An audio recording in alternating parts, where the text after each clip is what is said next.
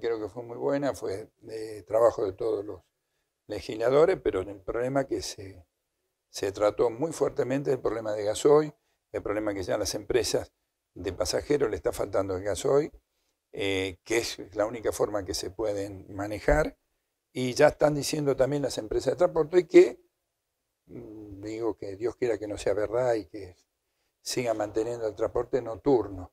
Si cortan el transporte nocturno, realmente se nos va a complicar bastante a todos los ciudadanos de nuestra provincia. Así que lo hemos citado, vamos a citarlos para escuchar los problemas que realmente tiene y lo poco que nosotros podemos solucionar, vamos a trabajar sobre eso. También hay empresas que no pueden pagar los sueldos, hay empresas que ya están hablando de, quiebra de las empresas. Eh, bueno, sobre eso vamos a trabajar, es la primera reunión que vamos a tener Espero que el día viernes estén todos acá, se lo va a citar uno por uno. Eh, no es ninguna obligación que venga, el que quiere venir viene, el que no, no viene.